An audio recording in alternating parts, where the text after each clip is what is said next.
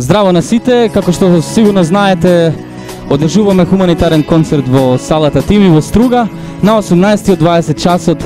Можете да ме видите мене во живо и многу други естрадни пејачи од Македонија. Се надевам дека што повеќе луѓе ќе дојдат. Ќе бидам искрен, порано не гледав толку многу ракомет, но сега поради нашите успеси ни, ја вратија до вербата. Мислам, а, среќен сум што се толку успешни на светско ниво и на европско ниво и се разбира дека ги поддржувам а, и ги гледам сите наши ракометаши, значи дали е а, репрезентацијата или ете металург или било кој се успешни, ги бодрам сите што се добри и што што што напредуваат. По било каква врста спорт, музика, уметност, мислам и треба да ги поддржиме. Фала многу.